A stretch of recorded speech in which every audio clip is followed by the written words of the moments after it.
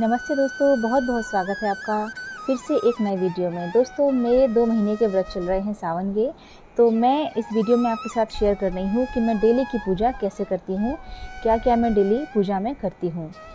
तो सबसे पहले तो सुबह उठने के बाद हमको सूर्य देवता को अर्थ देना चाहिए। सावन के महीने में तो ये विशेष तौर पर करना चाहिए।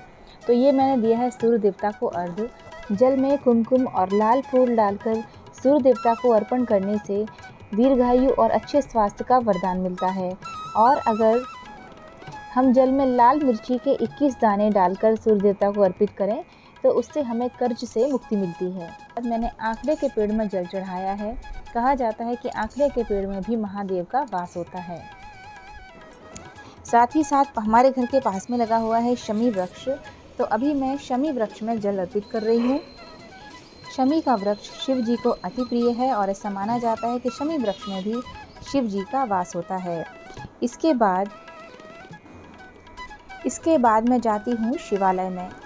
हमारे घर के पास एक दूसरा मंदिर है जहाँ मैं जाती हूँ, बट मैंने प्रदीप मिश्रा जी की रील देखी थी एक। उन्होंने कहा है कि शिव जी के ऊपर जल अर्पित करने के बाद उसमें से थोड़ा सा बचा हुआ जल अगर हम बेलपत्र में अर्पित करें तो इससे हमारे घर में सुख समृद्धि आती है तीन महीने में हमारे घर की काया पलट हो जाती है। तो मैंने सोचा कि शिव जी को जल चढ़ाने तो मैं जाती ही हूँ, लेकिन अब मैं ऐसी जगह जाना शुरू कर देती हूँ जहाँ पर बेलपत्र का पेड़ पास में लगा हो।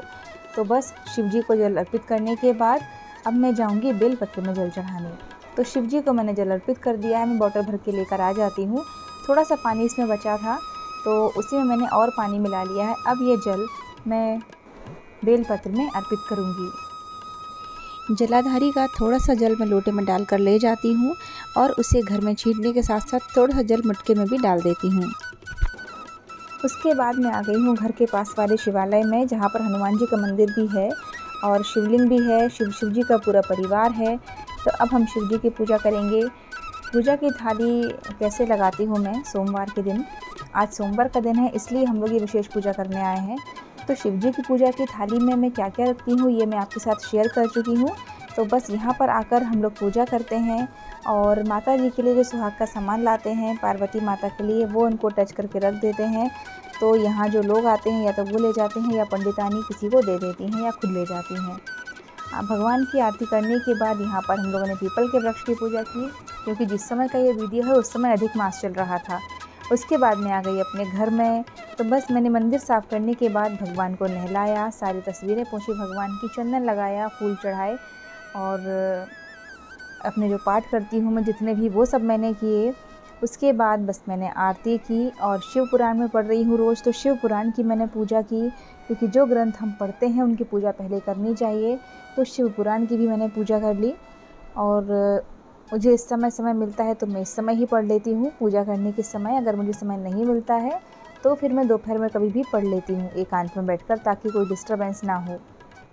तो दोस्तों, ये है मेरी श्रावण मास में पूजा जो मैं करती हूँ, उसकी पूरी डिटेल दो महीने के व्रत जब हम करते हैं तो हमको लगता है कि कुछ तो ऐसा करना चाहिए कि हमको लगे कि हाँ हम कुछ कर रहे हैं, कोई व्रत कर रहे हैं या कोई अच्छा धार्मिक कार्य कर रहे हैं।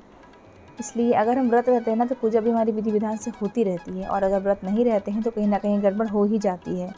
व्रत रहते हैं तो ऐसा फील आता है कि नहीं यार, जब व्रत कर रहे हैं तो पूजा भी करो अच्छे से, अपन कैसे भी टाइम निकाल के करो तो सब होता रहता है।